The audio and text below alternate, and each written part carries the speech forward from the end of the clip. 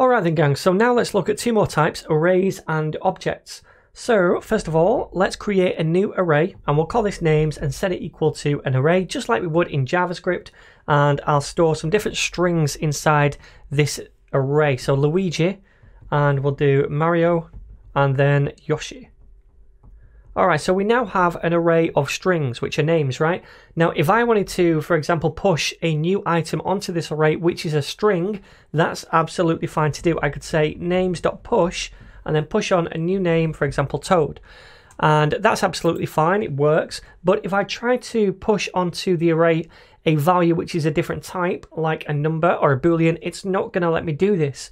So for example, names.push and then add on a number, then I'm going to get a little error right here. And if I hover over that, it says argument of type 3 is not assignable to parameter of type string. So it's only letting me put in strings because that's what we initially defined in this array.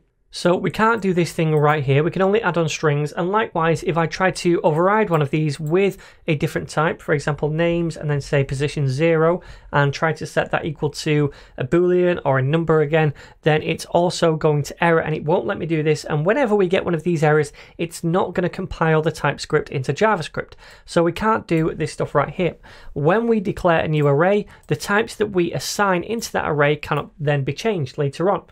Let's do another example. I'm going to say let numbers equal to an array of numbers and in here I'll just do 10, 20, 30 and 40 and then underneath I'm going to say numbers dot push and add on 25 that's absolutely fine but if I try to say numbers dot push and then add on a string for example Shaun that doesn't work. Likewise if I say numbers and then position 1 or whatever and set that equal to a string like Shaun, this is not going to work. Okay, so that's arrays. Now, if we wanted to have a mixed array with different types in it, we can do. We just have to declare that when we first initialize our array. So I could say, for example, let mixed equal to an array, and then inside here we could have Ken, and we'll also have a number 4, and we'll have another string, Chun-Li, and then maybe another two numbers, 8 and 9.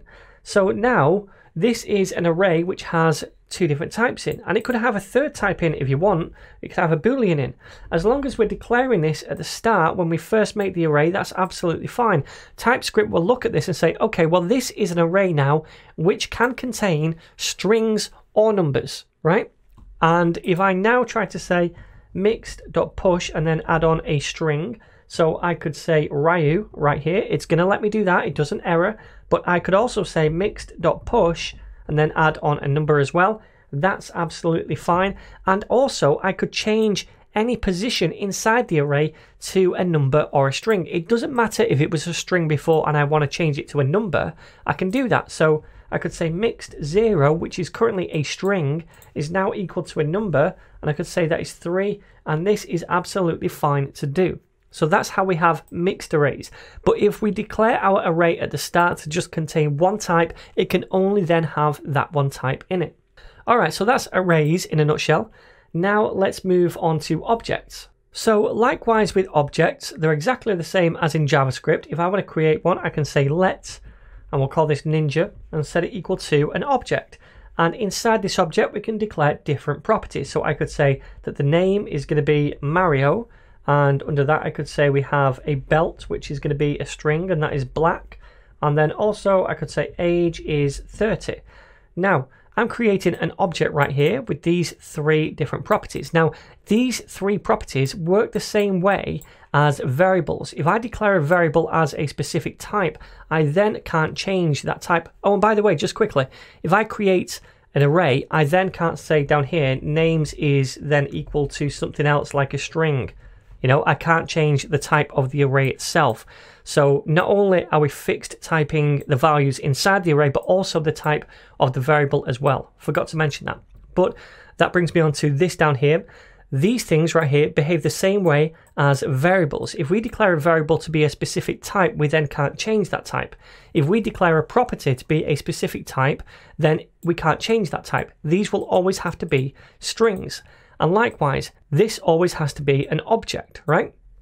So let me come down here and I'm going to say that ninja age is now equal to 40.